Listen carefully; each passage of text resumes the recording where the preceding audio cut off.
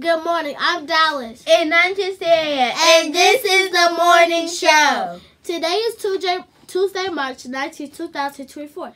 Now for today's special announcements. Save the date for our upcoming events. The Glow Dance is rescheduled to March 27 this Saturday. It is the last day of our Super Sunday tutoring. Relay for Life Dress Down Day um, is on March 29th. Pay $2 to dress out. Spring break is April 1st through the 5th. Yippee! Today's coping habit is think win win. An example is be quiet when someone is talking. Now for today's moment in history. Did you know that on 1962, Bob Dylan released his first album? Here's Dr. The BJ for the word of the week. Hi everyone, and now it's time for the word of the week. Word of the week, word of the week, word of the week, word of the week, word of the week. And the word of the week is amends.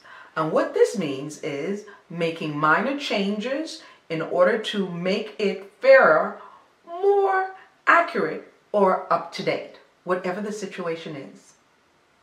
And now it's time for the word of affirmation.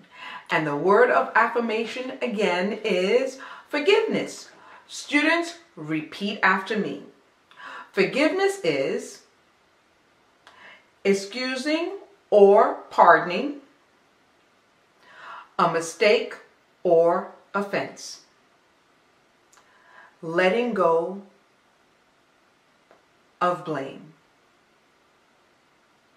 Have a great day, everyone. Bye. Hey Dallas, I have a joke for you. What is it? Why didn't the orange cross the street? I don't know why. He ran out of juice. That's it for today. Have a great day, respect leaders. The amateur round those with the bus today. Bye.